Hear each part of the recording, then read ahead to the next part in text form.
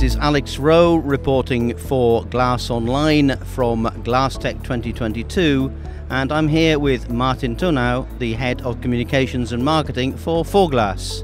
Martin, tell us something about Forglass, please, what it does.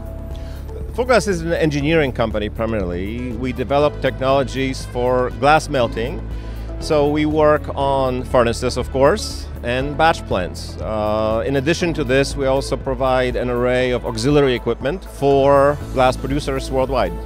Okay, very good. And what are you showcasing at this year's Glasstec?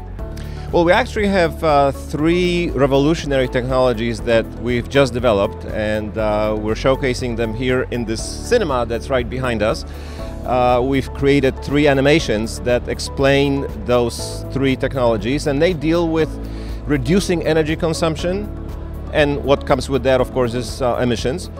And um, we're presenting three technologies. I can mention them uh, really briefly. One is a cullet preheater. Another one is a mixing electrode. Third, maybe the most fascinating, is the new hybrid furnace that Forglass developed, which is really based on classic design of a fossil fuel operated furnace, but it allows glass producers to move into electric heating as the needs arise.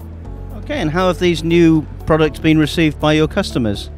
It's been tremendous. I think both the technologies themselves that we're presenting, uh, as well as the form in which they are being presented with these animations, um, it's, it's been tremendous. We've had meetings booked from morning to evening. This is really just the first hour that we've had a bit of a breather. Uh, so I would say Glasstec overall has been tremendous for, Forglass since the very beginning. We'll be coming back for sure for many, many years. Good to hear. And how has 2022 been for Forglass? Well, as you know, we've had many challenges uh, related to the pandemic and a lot of uh, problems created with the recent invasion of Ukraine, um, which caused glass producers a lot of headaches with fuel, of course. So uh, we've overcome these challenges, I think, primarily because of the commitment that we've made both to the industry and to our employees. We're able to fulfill contracts right now that many other suppliers are not because they've let go of their employees. Uh, we've kept everyone on board, so when pandemic stopped and we were able to travel again, uh, we were able to jump right in.